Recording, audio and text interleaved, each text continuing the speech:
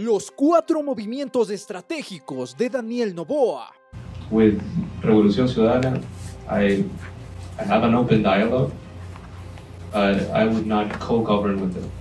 1. Confrontar a Luisa González por estas declaraciones. Daniel Novoa quiso correr por la Revolución Ciudadana, quiso ser el candidato de la Revolución Ciudadana a presidente de la República, pero claro, eh, nosotros no podíamos acogerlo. ¿Por qué? Porque primero su empresa debe los impuestos al Estado, ha sacado grandes capitales, no coincide su pago de impuesto a la renta con su con su salida de, capitales del país, em, empresas en paraísos fiscales y demás. Entonces no, obviamente no podía ser candidato de la Revolución Ciudadana. El presidente electo efectuó una petición urgente a Fiscalía del Guayas con el propósito de que ejecute una pericia informática vinculada a las declaraciones de la representante del movimiento Revolución Ciudadana, en concreto sobre afirmaciones relacionadas a inconsistencias en los pagos de sus impuestos precarización laboral y atentar contra los derechos de trabajadores. Novoa señaló a Fiscalía que la ex candidata lo ha imputado de actos ilícitos, además de acusarlo por presuntos delitos tipificados en el COI, solicitando se certifique la evidencia digital disponible para que se recopile como expediente y así adjuntarlo como prueba en una denuncia que realizará en la función judicial. Por ahora, ni el presidente electo ni Luisa González han otorgado mayor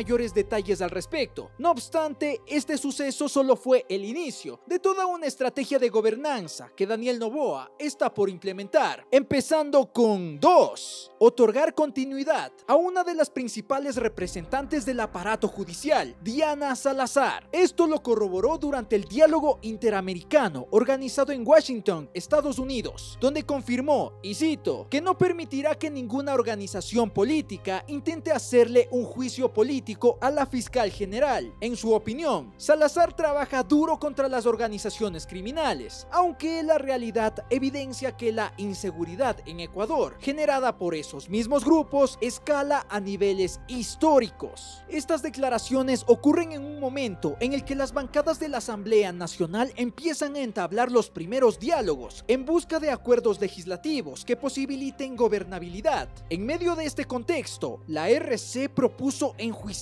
políticamente a la fiscal Diana Salazar como un requerimiento para llegar a dichos acuerdos. Por ello, la postura y las acciones de Novoa tienen como propósito tomar distancia de esa tienda política, sin considerar las implicaciones a corto plazo. Por ahora, el político confía que uno de sus principales ofrecimientos, la consulta popular, conseguirá el suficiente apoyo del legislativo. Nadie se opondrá, confirmó. Es más, sostuvo que el referéndum se realizará en el cuarto mes de su gobierno o sea, en abril de 2024. En contrapartida, Rafael Correa, líder de la RC, también se muestra confiado respecto del accionar desarrollado por su bancada para llevar a juicio político a la fiscal Salazar. Pero eso no es todo. La gobernabilidad también implica levantar un gabinete sólido. Vamos al tercer movimiento, la designación del sexto y séptimo ministro de Novoa, empezando por Saria Moyangulo, quien fue parte de la delegación que acompañó al presidente electo, Daniel Novoa, en las reuniones con el Fondo Monetario Internacional y el Banco Mundial el pasado 4 de noviembre en Estados Unidos. Este lunes fue confirmada la designación de Moya como ministra de Economía y Finanzas. Moya, economista por la Pontificia Universidad Católica del Ecuador y máster en Economía por la Universidad Carlos III de Madrid, labora en el Ministerio de Gobierno desde julio de 2017